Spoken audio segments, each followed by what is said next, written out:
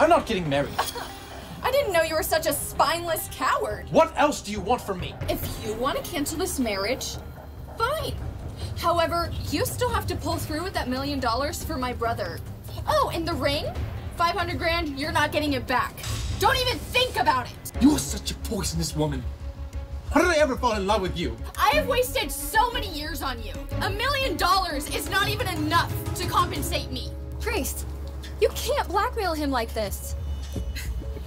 Alice, why are you taking his side? Oh, wait, I know. It's because you have a crush on him. you would like to marry him, wouldn't you? What are you talking about? Of course not. You know who I had a crush on? It's Alice.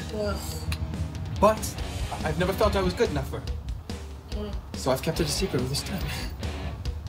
If I had known she liked me too, I wouldn't have ended up with a bitch like you. How dare you? I'll give it to my all to hit that one million. But just so you know, it's not for you. It's to make things right with Alice.